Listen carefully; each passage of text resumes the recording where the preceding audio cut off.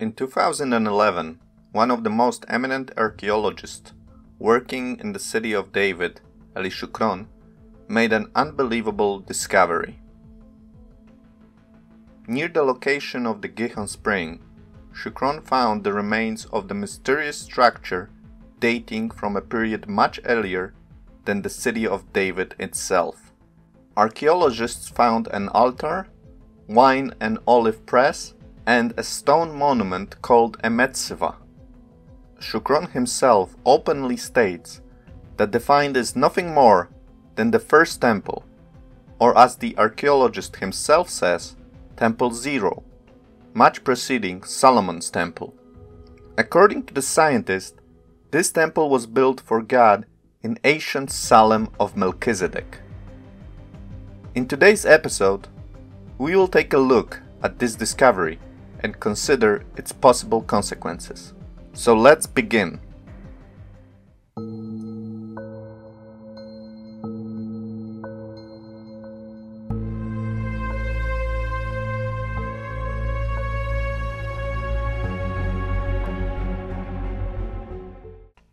Melchizedek is undoubtedly one of the most mysterious biblical figures. Mentioned in only three books of the Bible, we have very little information about Melchizedek. However, even those small bits of memory of Melchizedek lead many to conclude that he was a figure of unique value.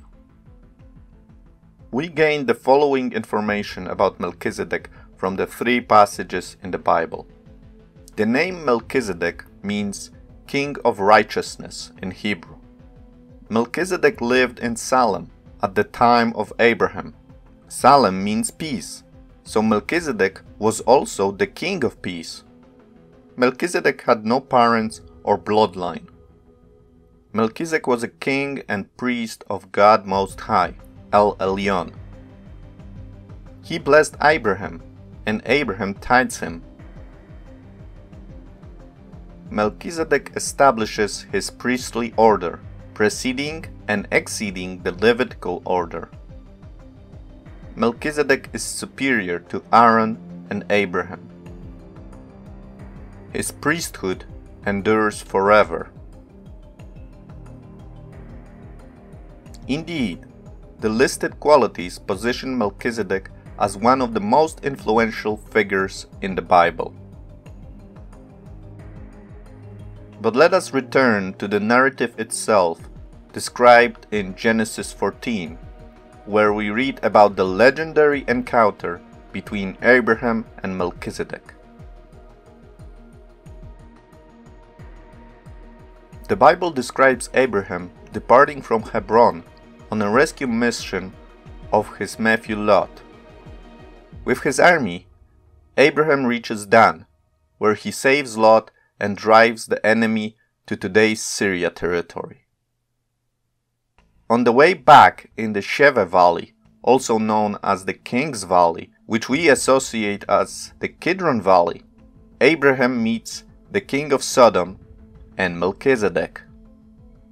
Then we read, And Melchizedek, king of Salem, brought out bread and wine. Now he was a priest of God Most High. He blessed him and said, Blessed be Abram of God Most High, possessor of heaven and earth, and blessed be God Most High, who has delivered your enemies into your hand. He gave him a tenth of all.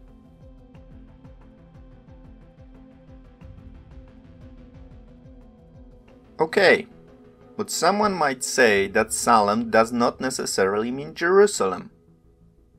While the name Jerusalem is related to Salem, that doesn't mean anything yet. The city of peace, or Salem, is identified with Jerusalem because of Psalm 76, that connects God's tabernacle in Salem with Zion, and Zion itself is synonymous with Jerusalem. In the psalm we read, His tabernacle is in Salem, his dwelling place also is in Zion. Looking also at Israel's geography, The road to Hebron that Abraham returned led through today's Jerusalem. Abraham returns again to this area to undergo God's trial with his son Isaac. But that's a story for another time. By the end of the 19th century, many scholars and liberal biblical theologians questioned the existence of King David, and even more, the heroes that were before that.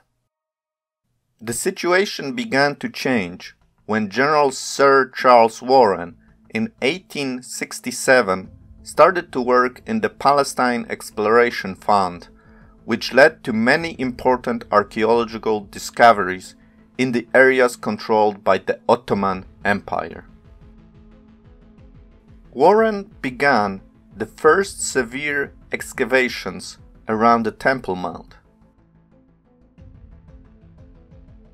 As Muslims forbade working on the Temple Mount, Warren's crew headed south to the Temple Mount to inspect the area. The result was unbelievable, as it led to the discovery of the legendary city of David.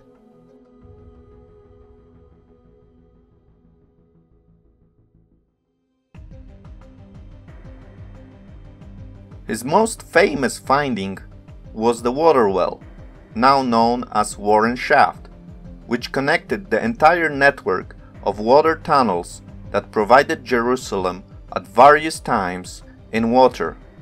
Today the city of David area is the most excavated in Israel.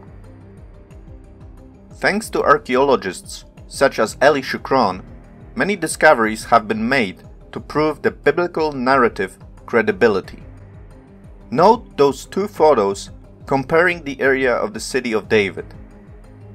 On the left, we have a photo from the Ottoman period, and on the right, we have a photo taken in the 21st century.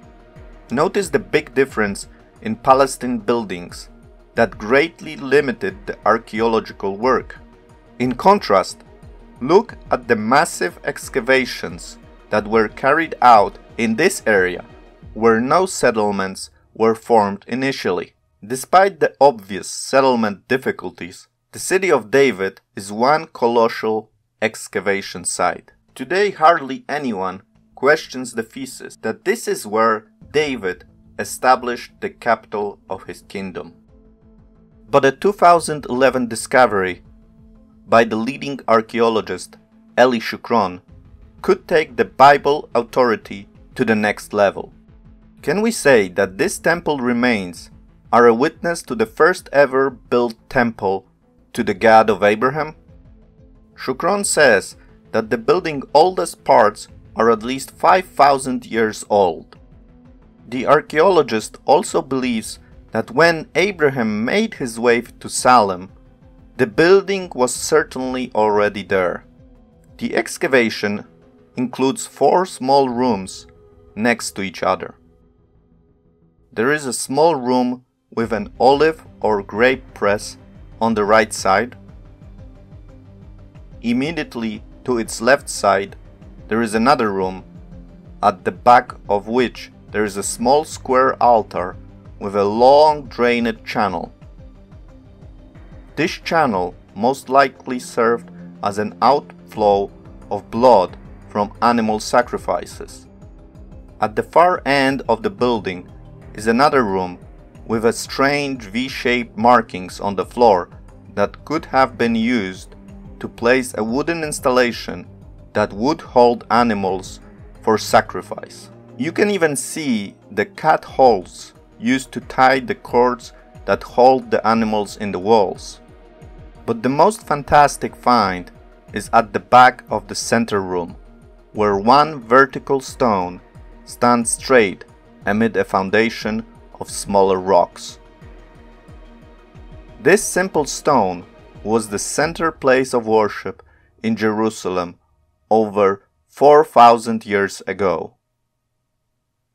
Remembering the story of Melchizedek meeting with Abraham, which according to the biblical narrative took place in this place and in a period from which the monument comes, it can be concluded that this ancient temple is a testimony to the cult of monotheism from the time of biblical patriarchs. It would be the oldest monument of this type, showing that monotheism existed many centuries before Israel's creation. We see a similar example of such worship in the story of Jacob in Genesis 28. We read that in the place he called Bethel, Jacob erected a stone vertically, which he anointed with oil. Perhaps Jacob was inspired by his grandfather Abraham meeting with Melchizedek many years ago. After all, such a type of stone arrangement and anointing oil presses were present in Melchizedek's temple. Especially for you, I made an animation showing what this place could have looked like in the days of Abraham. During the excavations in the city of David, archaeologists found no walls in Salem. It would fit well with the name of the town, which means peace. On the other hand, several caves were found at the bottom of the hill where people originally lived.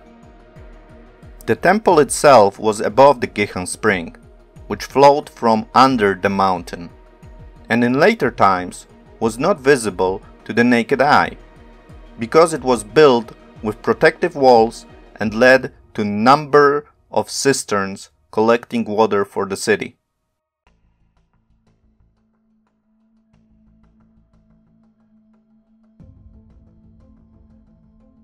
In the first room, we see signs on the floor, the purpose of which is still under debate. What do you think they were for?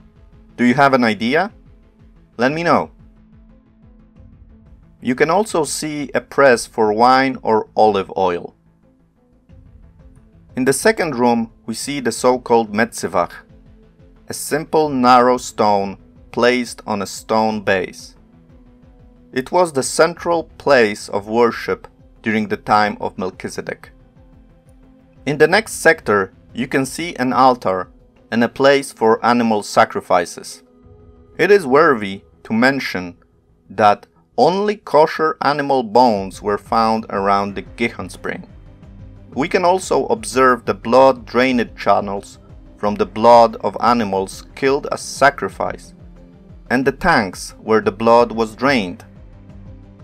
In the last room, an olive or wine press was found. To end this episode, I would like to present a few conclusions that arise in connection with this discovery. First, even before the advent of Israel, Jerusalem was a unique place where only the Most High God was praised, El Elyon. The Bible, from the very beginning to the end of the world, sees Jerusalem as the center of God's plan. Second, this discovery reaffirms the Bible narratives from the very distant times. Third, the story of Melchizedek and Abraham shows the continuity of the biblical narrative. Melchizedek greeted Abraham with bread and wine, in the presence of whom they glorified God. Today, both Jews and Christians use these two elements, bread and wine, in the celebration of Shabbat and the Lord's Supper. Thank you for your attention. I hope you enjoyed this episode. As always, I encourage you to comment and share this video. This helps a lot or you can subscribe to this channel to stay informed about the next monthly episodes on the history of Jerusalem. See you soon.